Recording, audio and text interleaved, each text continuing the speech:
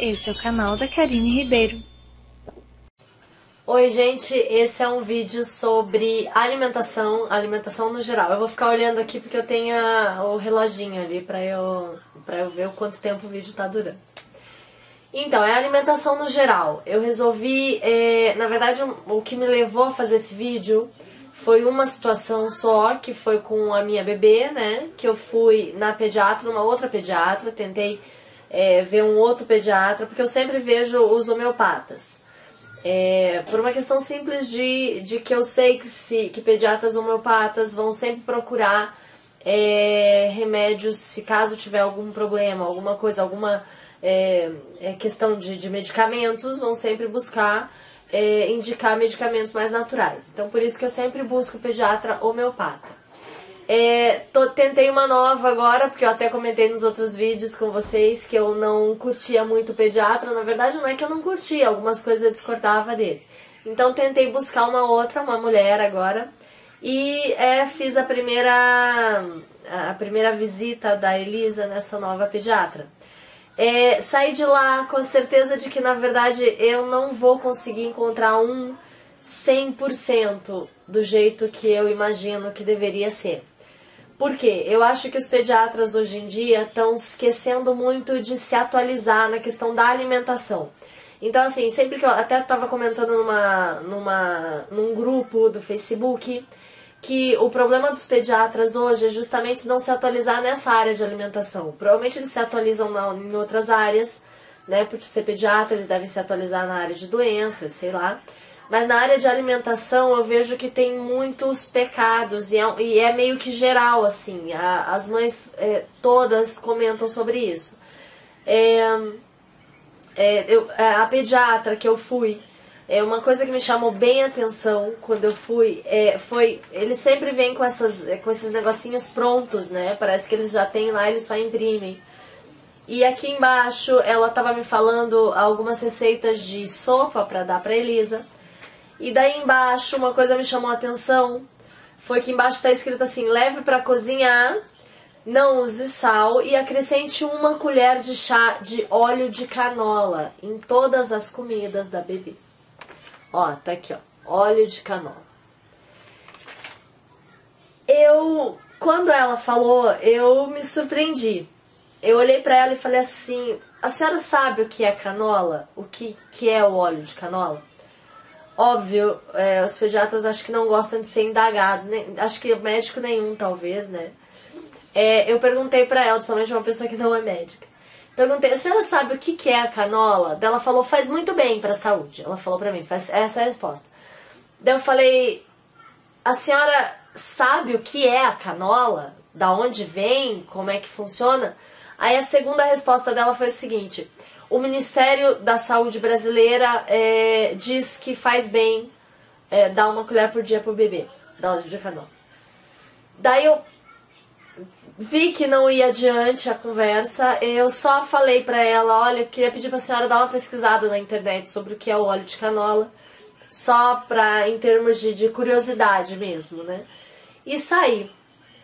É, eu também achei interessante dela não saber nada sobre o sal é, do Himalaia. Eu já vou falar nesse vídeo sobre o sal do Himalaia.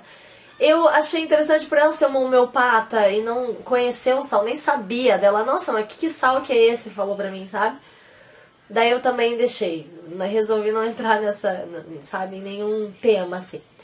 É, um que, é, para algumas mães que estavam falando sobre pediatra, que também estavam falando nessa comunidade, é, que algumas pediatras estavam falando coisas absurdas até. Eu li coisas absurdas que os pediatras estão dizendo.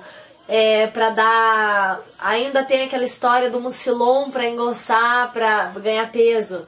Gente, tem 500 mil formas de ganhar peso que não seja mucilon. Mucilon é cheio de açúcar. Não é que não, não é para dar. Pode até dar de vez em quando, mas dar mucilon toda noite para engrossar a mamadeira é complicado. Se vocês olharem lá a tabela do que tem os ingredientes do mucilon, não é uma coisa diária, entendeu? É, dá para engrossar com aveia fina, aquele aveia. Aí a menina falou: "Ah, mas a aveia ela engasga". Mas tem aquelas aveias que é a mais fina de todas que não engasga. É, então assim, e tem outras, outras outras maneiras de engrossar que são bem mais naturais, e faz muito mais bem à saúde. Então os pediatras ainda estão falando de Mucilon, ainda estão. É, tem muitos pediatras que ainda querem, ainda falam para as mães com quatro meses já começar.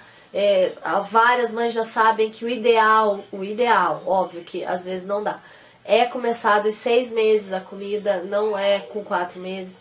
Mas enfim, então eu vejo várias coisas de pediatras, então eu ainda falo para algumas mães para buscar um nutricionista infantil, porque eu vejo que os nutricionistas infantis são muito mais atualizados em termos das comidas, do que faz mal, do que não faz, dá a impressão que eles buscam mais saber sobre os assuntos do que um pediatra. A questão do óleo de canola, eu vou tentar dar um breve, uh, porque é muito também é, é, muito de pesquisar. Eu pesquisei muito sobre, sobre várias coisas, uma delas foi o óleo de canola. O óleo de canola é o seguinte, canola não existe, não é, não é aquela flor que é colocada na, na, no pote do óleo, que você olha e vê uma flor, ah, canola é isso, não é. Canola não é natural, canola é um óleo canadense, um óleo canadense que inclusive é usado para várias outras coisas que não tem nada a ver com comida. É, foi óleo usado em é, algumas químicas desse óleo é, são químicas, inclusive, usadas em guerras é, para matar. Então, assim, é, não quero entrar muito, porque eu sei que às vezes muitas mães não querem também é, não acreditar, mas enfim. É, o que eu digo é para buscar querem ouvir mais sobre o óleo de canola, é, foi uma coisa que me chocou, porque para mim o óleo de canola faz muito mal. Aqui em casa não se entra óleo de canola. E me chocou uma pediatra falar para todos os dias a mãe colocar uma colher de óleo de canola no bebê, na, na comida do bebê. Me chocou porque eu, eu li os ingredientes do óleo de canola, eu busquei saber é, é, o que estão falando. É, existem pessoas que analisam tudo, que estudam. E, e, e, e, tá na internet. Tipo assim, é só ir lá no Google e botar lá o que é óleo de canola. Vocês vão ver inúmeros estudos sobre o óleo de canola, o que, que ele é feito, o que, que acontece com o uso contínuo, o que, que faz no organismo. Tá tudo lá. Só colocar o que é o óleo de canola no Google. Então, eu, se algumas mães quiserem, por favor, façam, vão olhar antes de dar. Então, o que eu, o que eu quero, na verdade, com esse vídeo, vou, vou mostrar várias coisinhas que eu comprei esse mês e várias coisinhas pra você. Mas a minha intenção nesse vídeo não é buscar é, é modificar a cabeça de nenhuma mãe. Se vocês ainda querem dar, se tem mães que, que ainda aceitam óleo de canola ou óleo qualquer coisa, podem dar. A minha, na verdade, intenção com o vídeo é fazer com que é, vocês não digam sempre amém, gente, a tudo que o pediatra diz. Existem pediatras, eu já ouvi falar, pediatras com que, que falam que, que é para dar é, é, mel para criança de 4 meses. Gente, mel da doença. Assim, não digam amém para tudo que o pediatra fala. Vão buscar na internet, vão ver se é isso mesmo. Se tem mais dúvidas, vão buscar um nutricionista infantil. É, os pediatras estão pecando muito em muita coisa. Então, assim, é interessante que vocês busquem. Hoje em dia, Google, gente, tá aí, sabe? É, é ridículo. Vai, senta, vai buscar, entendeu? Então, é, agora vou, vou falar sobre as coisinhas. É, óleo de canola, como eu disse, não entra de jeito nenhum aqui em casa. Como que eu cozinho? Cozinho só com óleo de coco. Esse óleo de coco é o seguinte, como eu uso muito óleo de coco aqui em casa, eu compro de balde. E o balde vem 3 litros e meio, eu pago cento e poucos reais. Isso você consegue até na internet, em várias lojas de produtos naturais da internet que eles entregam. De, custa de 100 a 150 reais um balde de 3 litros e meio. Eu uso daí um potinho, porque daí eu uso, é, eu uso inclusive no cabelo, tal, para tratamento de pele e tal, eu uso óleo de coco e uso para cozinhar.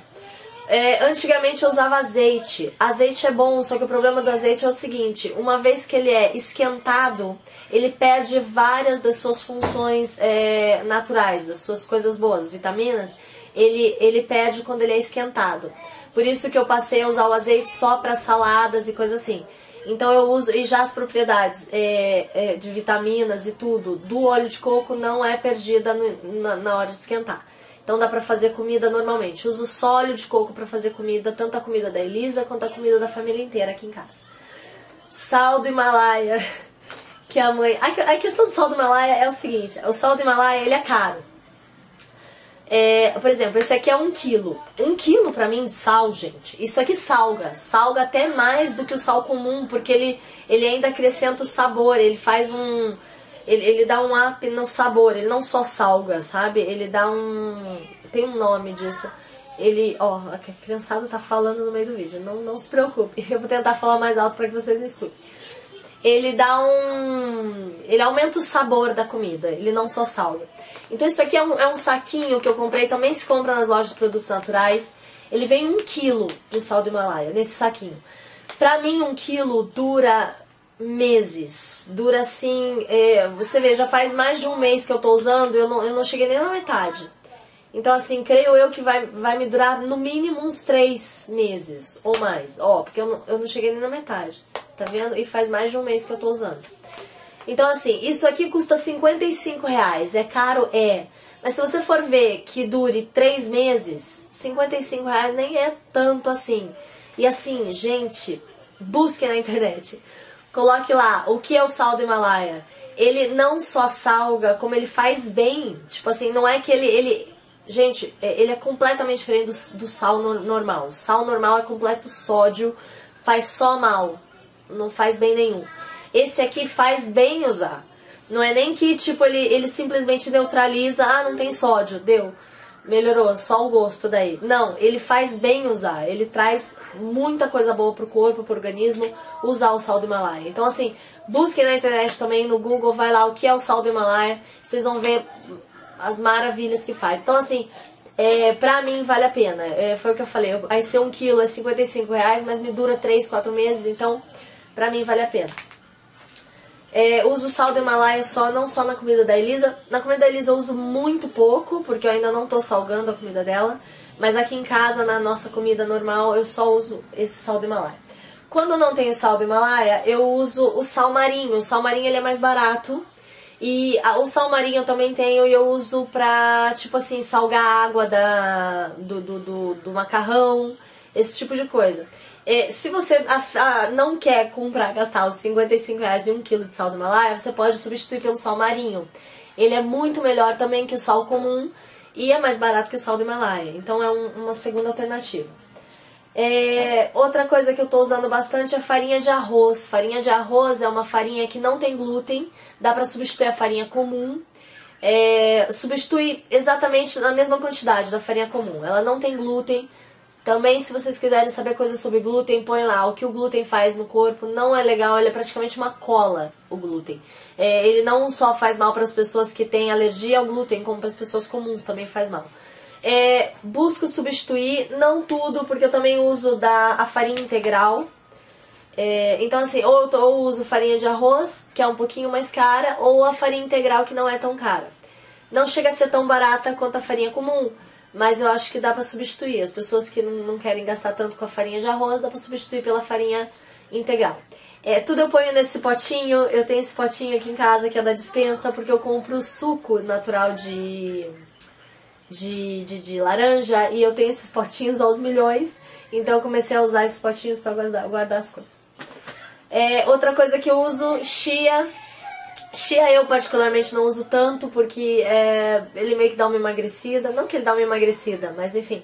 É usado para as pessoas que querem emagrecer. É, meu marido gosta bastante. É, dá para colocar chia no, no iogurte, nas frutas, nas vitaminas. Faz muito bem também. É, açúcar não entra aqui em casa, açúcar comum. Procuro usar o açúcar orgânico ou o mascavo orgânico. O mascavo orgânico eu uso muito para Elisa Ó, ele tá meio sem. É, tem que comprar. Mas enfim, pra Elisa eu uso um pouquinho sempre de açúcar. Não um pouquinho sempre, em algumas coisas, né? É açúcar mascavo orgânico. E aqui em casa eu uso açúcar orgânico normal. É, aveia em floco fino, que eu tava falando, ó, ele é tipo um pozinho, então se você às vezes quer dar uma engrossada no mamar do bebê, eu recomendo aveia em floco fino ao invés do mucilon. O mucilon até pode dar, gente, mas todo dia é complicado por causa do, da quantidade de açúcar que ele tem. Quinoa, uso muito na comida da bebê também. Essa quinoa, ela ainda não tá comendo massas.